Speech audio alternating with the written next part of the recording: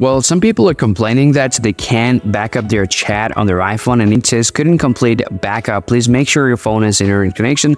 Sometimes it just keep uh, showing you backing up, but it doesn't work. Now, if you have the problem with your WhatsApp, here is what you need to do. First, make sure your internet is working fine. So you can head over to your browser and type internet speed test and then you can simply run a test. If you see, well, it's not loading up or if it's showing you, let's say, uh, you know, megabyte uh, and it doesn't work well, then first you have to make sure your internet is working fine on your iPhone. So in that case, you can simply enable airplane mode for 20 seconds, then you can turn it back off or you can switch your network to Wi-Fi to mobile data or mobile data to Wi-Fi.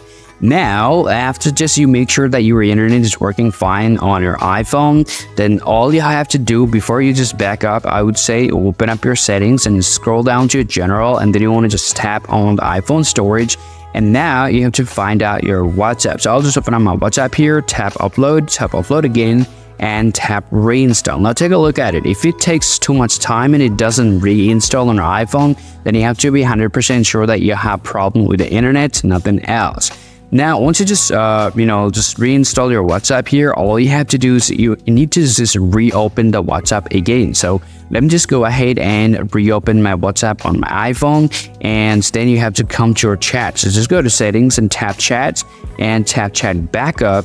And here, um, if it still gives you this backing up and it's not working, then all you have to do is just open up your settings, tap on your Apple ID, tap iCloud, and you want to just tap show all and scroll down to your WhatsApp. Make sure the WhatsApp is actually toggled on from here. If it's disabled, then no matter how hard you're going to try, this is not going to work.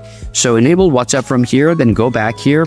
Now tap chat backup and now you have to wait for a few moments and then your chat will start to back up immediately to your iCloud drive. Now, one last thing, guys, before I just say goodbye, make sure that your iCloud has actually enough backup. I mean, uh, make sure your iCloud has enough storage. Now, if your iCloud is full, as you guys can see, my iCloud is full, then this is not going to work. In that case, all you guys want to do, just, um, you know, just open up your um, Apple ID and then just open up your photos and just tap sync photos and stop updating. Just make sure that you are you have enough storage available on your iPhone for you know for your WhatsApp data for being able to upload to your iCloud account. So if I go back to my chat again because I had I didn't have enough storage, now it will start uploading as soon as I have a little bit of storage on iCloud. Now, if you guys do these three things or four things, then this is going to work and your uh, chat backup will, I mean, the problem with the chat backup will be solved.